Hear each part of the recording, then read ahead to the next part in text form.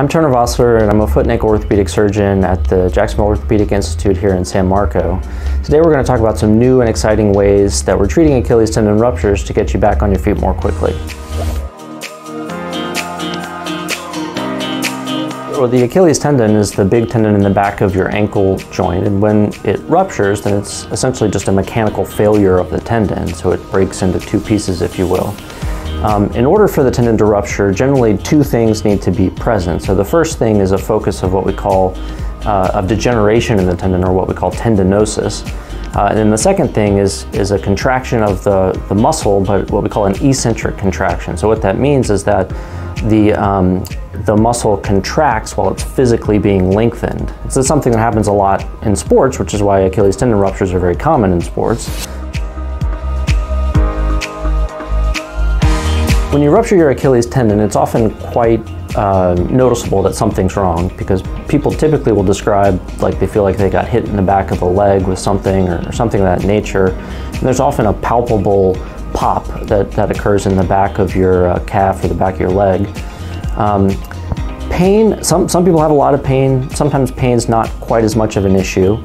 Um, but definitely there's a functional loss there. People feel like they can't really push off or walk on that side, definitely can't run uh, and can't jump on that side. We've actually changed the way that we do the surgery um, for some, some pretty solid reasons. Uh, historically, we just put sutures on one end and sutures on the other end and then tied them together. And that worked reasonably well, but that usually meant that there was a bigger incision and you know more more risk for wound issues. And so we've changed the way we do that, where we make just a smaller incision up at the top, which allows us to grab that segment, and then we uh, put it down directly into the heel bone, um, which allows us to restore the tension, which is the goal of surgery.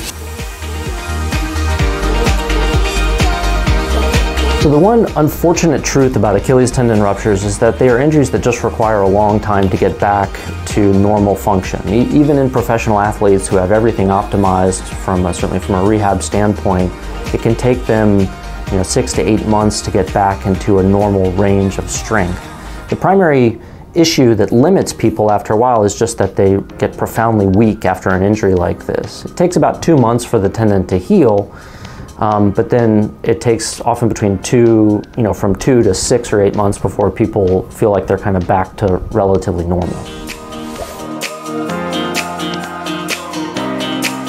Historically, people would be non-weight bearing, so on crutches for you know six to eight weeks after an injury like this. Um, and what we've learned is that it's actually a lot better to get people on their feet. And typically, we get them on their feet, you know, 10 days to two weeks after surgery, and that seems to come with a whole host of advantages primarily related to the, the scar tissue that forms for the healing tendon is just much better scar tissue, if you will. So you get a stronger tendon in the end.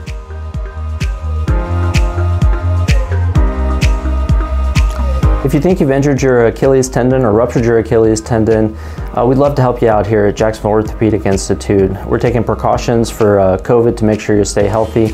Um, give us a call at JOI 2000 or go online at joionline.net.